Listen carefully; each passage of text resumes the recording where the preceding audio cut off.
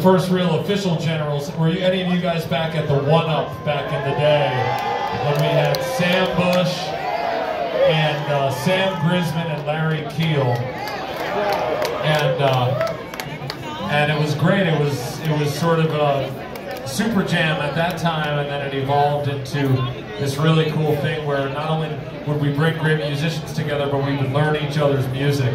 And and there's something really cool and special that happens when you learn each other's music. You you get in deeper with each other, and, and you really you really get to know people in a different and, and cool way. And, and that's kind of what the Bluegrass Generals has be, become all about. So, like I said, some generals you know, some generals you know, and some generals you don't know. And now this guy right here is a, is a good friend and a general for life, Mr. Will.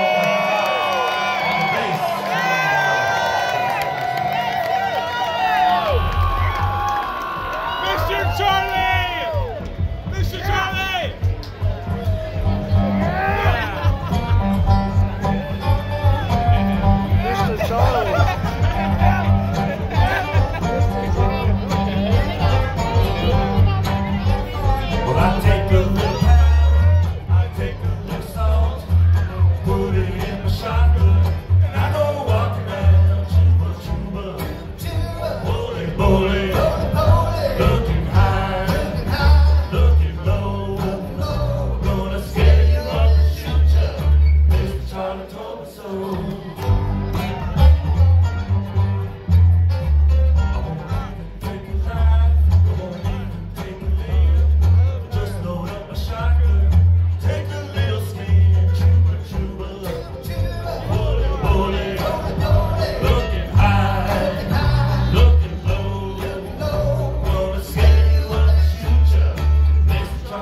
so